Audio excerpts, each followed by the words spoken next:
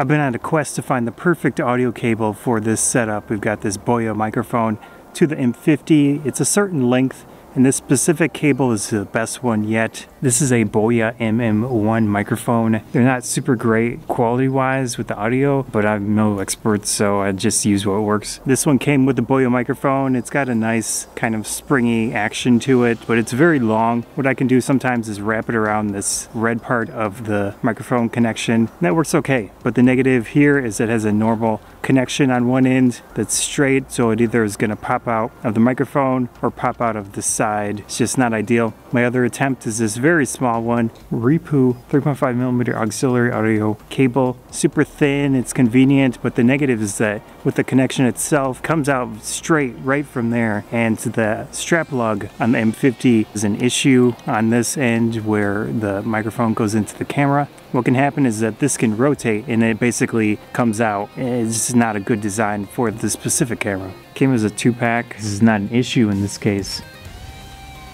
It's not going to come out and it's flush.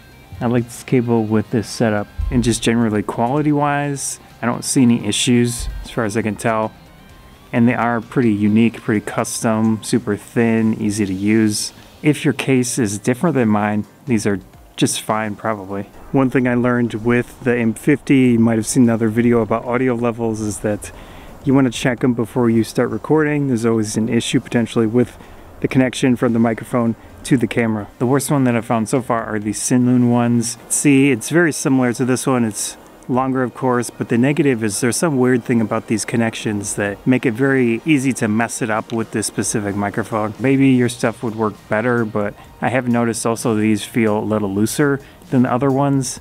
So just in general, I'm not a fan of this cable. The length is okay because I can wrap it once and that works just fine, but I don't trust these at all with the audio. Now you can check your levels, of course. Maybe it'll depend on your specific case, but I would not go for these ones. Just nope. That works okay, it seems like, but it's never gonna change with this microphone. That's the main issue with how this connects to the microphone. The Sinlun one did come as a two pack, which I guess value, but if it doesn't work, then there's no value to it. When you're trying to do things like this, the main goal is to get the gear out of the way so you can make a story or make a video. And if your gear is causing you problems, causing you troubles, making it harder to do things, then you definitely want to look for something that works better. The ones that I like the best so far are these Valley Enterprises ones. Appears to be working pretty nicely. I don't have any issues with the connections so far. They come as a single pack, so they're pretty pricey when you consider some of them came as a two pack which was nice, but if they're not gonna work, they're not gonna work. So in this case, I would not use this one that I like with this setup. In this case, with the phone flipped around,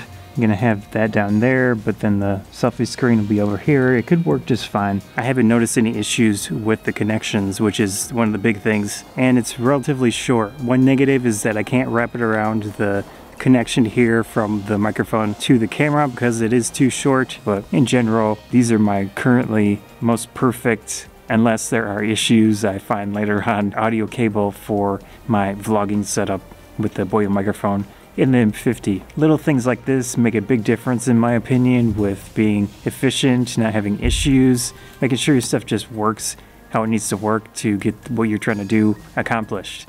So with simple things like audio cables, my budget is mostly zero for all this stuff a lot of the time, but I will spend some money on things like this to really improve little bits and pieces here and there to get in stuff working easier and better. I'm Scott Photography Banzai. I hope you enjoyed the video.